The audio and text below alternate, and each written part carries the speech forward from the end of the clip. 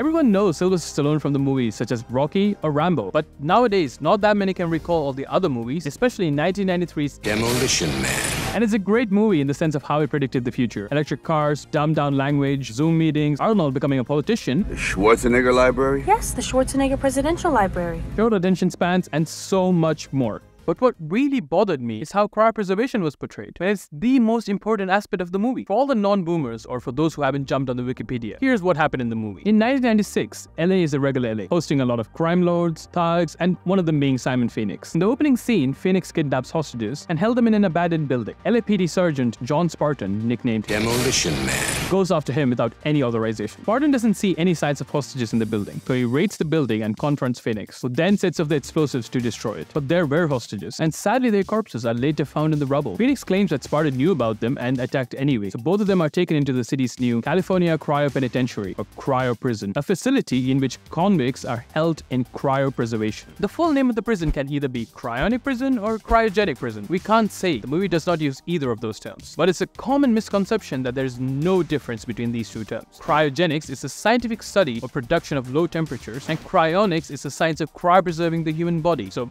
close in theory, but completely different in practice and fields of research. And if you don't know yet what cryopreservation or cryonics is, we got you. You can always book a free consultation with us and get all the answers. Check out the link in the description. So, after hearing the sentence, the guards undress Spartan and begin the cryopreservation process. We do also undress our patients and have them completely naked to start the procedure, as in any surgical procedure, but we'll get back to the surgical stuff very soon. The main difference to the reality is that Spartan is still alive. We only do the cryopreservation procedure when the patient is legally pronounced dead, for various reasons, including legal ones. After flexing his muscle and attitude, for the involuntary manslaughter of 30 innocent civilians. Spartan receives a bone injection. In our case, we also use bone injection, and we give drugs which prevent blood clot formation, but also prime the body for perfusion. During the stabilization procedure, we inject a mixture of sodium citrate and heparin. These prevent blood clot formation. But we also use neuroprotective drugs like mannitol, which prevents the brain from swelling. I assume they're also using something similar here, because, well, it's hard to fight crime when your brain is a mush. Spartan is then sentenced to 70 years of cryopreservation. During that, his behavior will be altered with something called synaptic suggestion, which I assume is taking place where neurons connect and communicate. So, some sort of brain There is some research on altering synapses, but you can't do that in cryopreservation. When your body is in a vitrified state, there is zero activity in no shape or form. To alter someone's brain, it needs to be at least somewhat active. And in that case, it ages and ruins itself in the process. Basically, there's almost no biological activity at such temperatures. The body and every cell is in a state of pause, so Nothing can happen at this point. After this, Spartan is put into the cryonics chamber while his body is in a weird position and submerged in liquid nitrogen, I assume. First of all, we put the patients in a cryonics dewar in a fixed, straight standing position, but we also do not pour liquid nitrogen onto the patients or immediately place them in liquid nitrogen. Before they are put into the dewar, they are perfused with the cryoprotective agent to protect the cells and tissues during the cool down process. And then they are placed in a cool down chamber and cooled to 7 to 10 days before placement into a dewar. We do this to make sure there's as little damage as possible to the cells and tissues, as well as cool down gradually to reduce ice formation. Then the scientist takes some plot device out of the secure container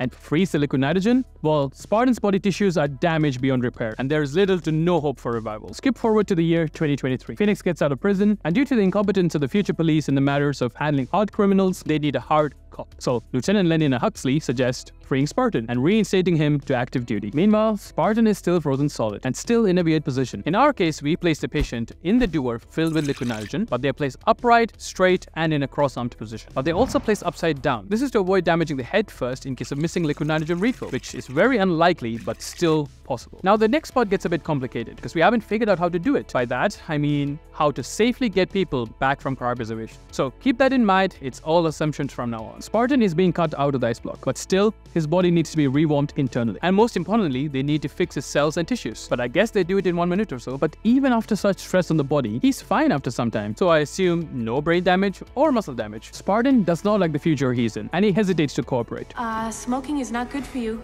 And It has been deemed that anything not good for you is bad, hence illegal. Alcohol, caffeine, contact sports, meat, Are you shitting me? Bad language, chocolate, gasoline, uneducational toys, and anything spicy. Abortion is also illegal, but then again, so is pregnancy if you don't have a license. Now, Whether the future will be more utopian than dystopian, well, that is up for debate. I believe the future will be more utopian. So, while the Demolition Man future might not seem that appealing, having no crime and focusing on the progression and well-being of society, well, that is what I consider utopian. But also, let me know in the comments what you think the future would look like. For Spartan, vengeance seems way more important than getting back into that ice cube. I wouldn't go through that procedure either. It's lucky that he's alive after this. After that, he somehow reinstates himself into the future society. Skipping forward through some major plot lines, Phoenix gets the upper hand. He and his partners in crime are trying to get the other prisoners out of the cryo prison. We're once again introduced to the plot device cylinder. I don't know what that blue pebble is, but it seems like something which triggers freezing. After Spartan breaks the cylinder, the solution spreads to the surface, freezing Phoenix. In reality, ice does not spread like that. Usually, you need an initial nucleation point, and also, not everything contains water. Even if there's water everywhere, it needs to be at the right temperature around 0 degrees for it to be triggered to become ice. But here is what Demolition Man gets right. How the frozen body would handle itself. Not that robust.